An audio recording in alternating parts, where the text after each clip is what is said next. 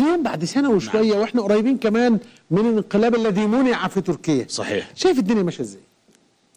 يوم الأحد أستاذ حمزة سيكون يوم قادم إن شاء الله. نعم يوم الخامس عشر من يوليو تموز م. يوم الأحد سيكون يوما مشهودا على مستوى العالم. م. أولا هو ذكرى سقوط الانقلاب وفشل الانقلاب الفاشل.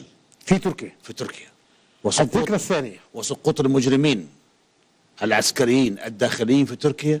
وسقوط الأجندات الصهيونية للأسف العربية المصرية الإماراتية السعودية التي كانت لها أصابع واضحة في الانقلاب العسكري الفاشل على تركيا في الخامس عشر من يوليو تموز وهو ما اعترف به وأقر به وصرح به بالأحرى آه، الرئيس التركي رجب طيب أردوغان عندما قال إن محمد بن زايد شخصيا أنفق ثلاثة مليارات دولار لإنجاح الانقلاب الفاشل.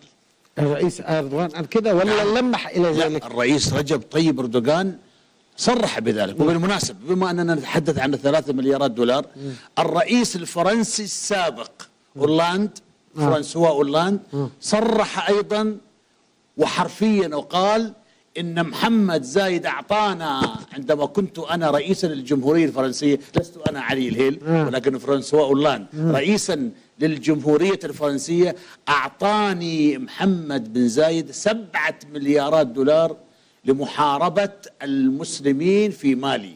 تحت شعار محاربة الإرهاب ما دخل محمد بن زايد. وهذا قد يقودنا إلى أحد المحاور في لقائنا الليلة وهو الانهيار الاقتصادي في كل من الإمارات والسعودية نتيجة التمدد. وما طار طيره وارتفع إلا كما طار وقع.